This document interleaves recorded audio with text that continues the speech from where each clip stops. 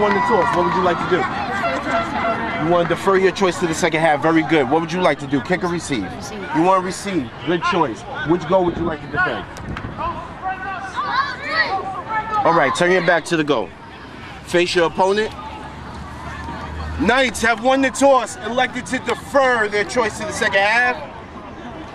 The Skyhawks will receive. Shake hands, bring your teams out.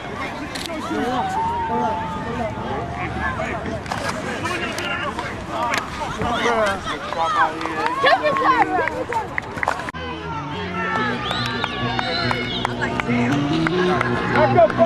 go, Nate! What's up? What's up?